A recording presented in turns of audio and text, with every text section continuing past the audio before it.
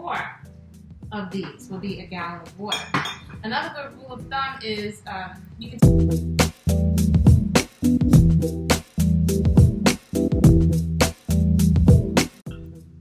Greetings, this is Body Culinary, and I'm here today to share with you about hydration. So, um, you know, there are recommendations for how much water we should drink. Some people say a gallon, especially if you're going to a gym. It's not uncommon to see uh, bodybuilders walking around with a gallon of water. So this would be a gallon of water. Um, sometimes I've watched people force guzzling um, water. But of course, most of our body is made of water, so we need to make sure that we're hydrated. But I just want to give you a, a visual, right?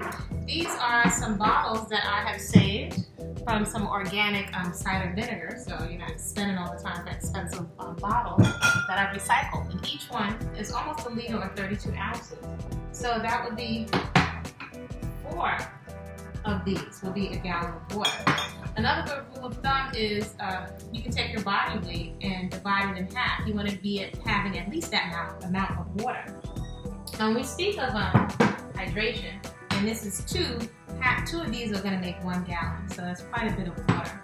So um, we don't want to be forcing it in all at one time at the end of the day because um, we fail to get water during the course of the day.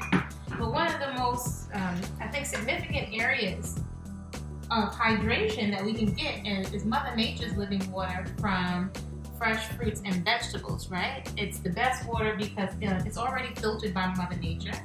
Um, and these are some excellent examples. Um, I'm someone that used to juice a lot of fruit juice many years ago, but I think um, these are excellent choices in terms of eating your hydration because there's so much nutrients also packed into a small place. So you've got a living water with fiber and antioxidants and nutrients in it. So we want to make sure that we're getting a lot of hydration in our food. So if you're eating lots of breads and pastas or things that can sit on a shelf for many months, um, quite often there may not be a lot of um, hydration or water, right?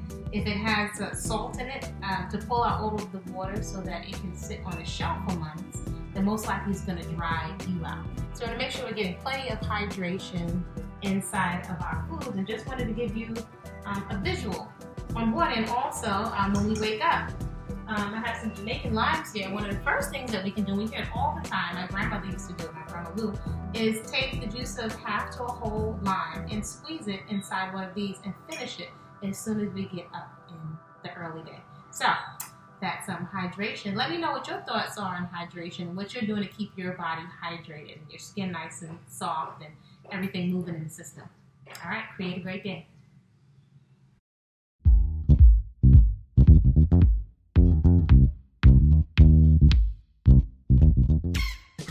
Like to be free from eating animal flesh, animal products, and be released once and for all from junk food addiction, all with delicious, whole, fresh, plant based alternatives.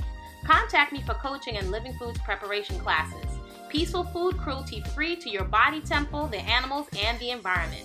Check the bodyculinary.com website. See you soon.